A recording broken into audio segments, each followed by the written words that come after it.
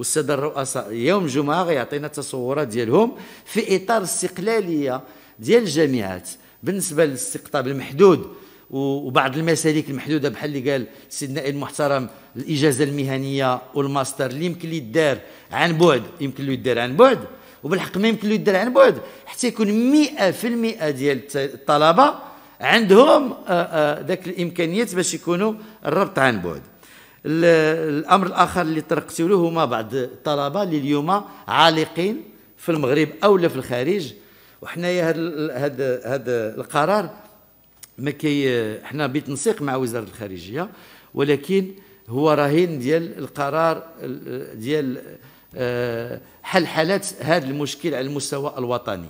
اللي يمكن نقول لكم حنايا في اتصال مع الجامعات التونسية باش هاد الطلبة المغاربة اللي في تونس اللي في المغرب اللي خصهم يمشيو يدوزوا في تونس ما يمكن لهم نديروا لهم حصص استدراكية صدير امتحان استدراكي. ونفس الشيء حنايا بالنسبة للطلبة الأجانب العالقين هنايا غادي نعتمدوا جميع الإمكانيات المرنه باش يمكننا هذا باش يمكننا ندوزوا لهم الامتحان. بغيت ننبهنا بأن كاين 1100 طالب أجنبي اللي احتفظنا بهم هنايا على المستوى ديال الأحياء الجامعية وكيتبعوا الدراسة عن بعد.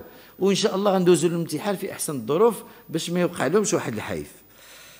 بالنسبة للاقسام التحضيرية أيضا قسم كان المبرمج عندهم المباراة في 26 ماي. تم تأجيل المباراة ديالهم ديال ال CNAEM ديال ال BTS إلى أواخر شهر يوليوز. حتى يدوز ذاك المباراة ديال الأقسام التحضيرية ديال الفرنسية اللي هما كي كيدوزوا فيها عاد إن شاء الله غادي ندوزوا لهم. تم إلغاء الشفوي بالنسبة لهذا بالنسبة لهذه الأقسام التحضيرية باش لأن ظروف الشفوي اليوم ما بقاتش موفرة. بالنسبة ل وكامين عبرتي عليها هي آه، خصنا آه، المواصلة في إنزال مقتضيات القانون الإطار. اليوم عندنا